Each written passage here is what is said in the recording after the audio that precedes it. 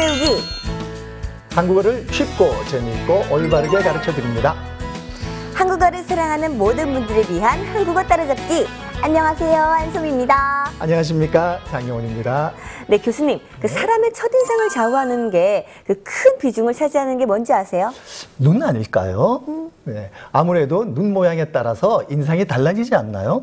아닙니다. 바로 이 헤어스타일인데요. 이 헤어스타일링이 70% 이상을 차지한다고 해요. 자, 그래서 오늘은 미용실에서 쓰는 한국어를 만나보겠습니다.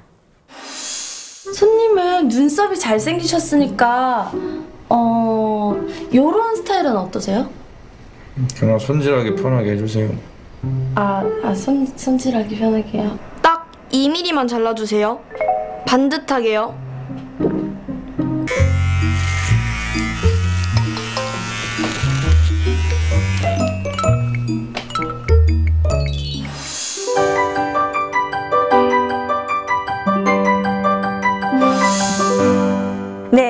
네, 여자들은 그 계절이 바뀔 때마다 미용실에 꼭 가거든요. 저 같은 경우에도 파마를 했다가 노란색으로 염색을 했다가 빨간색으로 했다가 자주 머리 색깔을 바꾸는데 이게 남자들은 미용실을 좀 자주 안 가는 편인가요?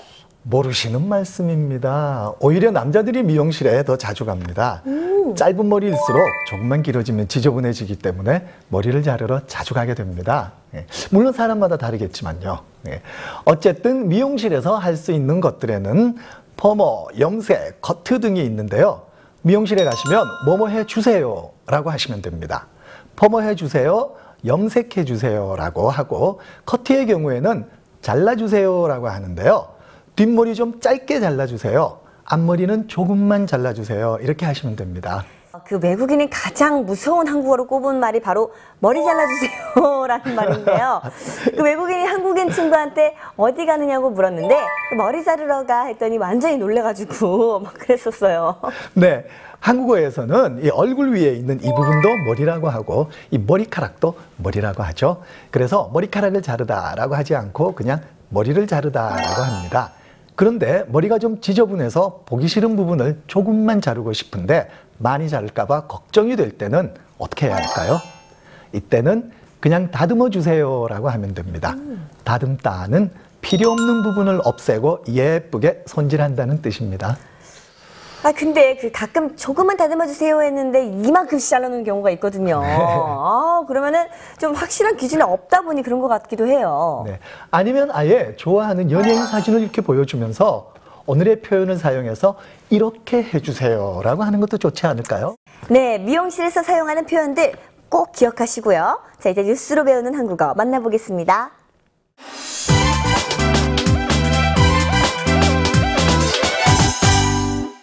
슈틸리케오는 다음 달 안방에서 두 차례 A매치를 치르고 6월부터 러시아 월드컵 예선에 돌입합니다. 우리나라의 첫 쇄빙선 아라운호가 북극 항로 개척에 나섭니다. 아라운호는 세계적으로도 기동성과 쇄빙 능력이 가장 뛰어난 선박 가운데 하나입니다. 자, 지금 한 배를 타다라는 표현이 나왔는데요. 이것은 같은 환경이나 처지에 놓여 있어서 기쁜 일도 힘든 일도 같이 한다라는 뜻입니다. 바다에 다니는 배에 이름을 붙일 때는 한자어에 호라는 말을 써서 무슨 무슨 호라고 하죠. 타이타닉 호처럼요. 축구 경기와 관련된 스포츠 뉴스에서 흔히 어느 팀을 가리킬 때 감독의 이름 뒤에 누구누구누구 호라고 많이 표현합니다.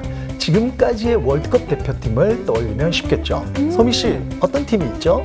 어, 뭐 히딩크호, 허정무호, 홍명보호 뭐 등이 있었죠. 뭐 지금 대표팀은 슈틸리케호라고 부릅니다. 네, 이렇게 축구 대표팀을 말할 때 감독의 이름 뒤에 호를 붙이는 것은 앞에서 말한 것처럼 그들이 같은 환경이나 처지에 놓여서 운명을 같이 한다는 뜻을 가진 한 배를 탄 사람들이란 말에서 나온 것입니다. 네, 그런데 감독의 이름 뒤에 호를 붙이는 건 왜 그런 거예요? 네, 그건 배에서 선장의 역할이 중요한 것처럼 팀에서는 감독의 역할이 중요하기 때문에 그런 게 아닐까요? 맞습니다.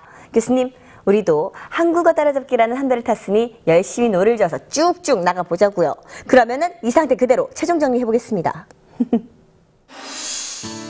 미용실에서 자주 쓰는 표현은 잘라주세요인데요. 조금만 자르고 싶을 땐 다듬어 주세요 라고 표현하면 됩니다. 운동 경기에서 특정 팀을 가리킬 때 감독의 이름 뒤에 호를 붙이는데요. 한 배를 타다 라는 말에서 나온 것으로 같은 환경이나 처지에 놓여 운명을 같이 하는 사람들을 가리키는 것입니다.